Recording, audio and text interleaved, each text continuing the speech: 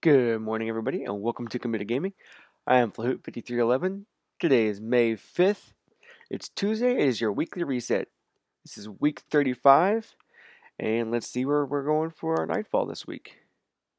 Uh, no, that's very interesting. We are heading back to the Ishtar Sink to kill the Archon Priest on the Winter's Run, and it's Rainbow Burn. Again, we just had this not too long ago. We literally just did this, and we're heading right back again to go kill him uh, with Rainbow Burn, and he almost he's only he's only not had Rainbow Burn one time.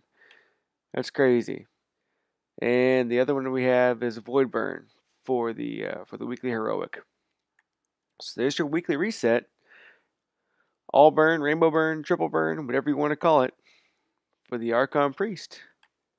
Uh, come join Soul Slayer and I will probably be streaming tonight, but that um, not much more after that. I'm I'm not gonna lie. I think we're both pretty exhausted with Iron Banner this week. It was a long week for both of us, but I think we all got we got what we wanted. It just takes a very long time to do that. So hopefully you all had a great week for Iron Banner. Uh, post down in the comments below what you got for your Nightfall uh, rewards.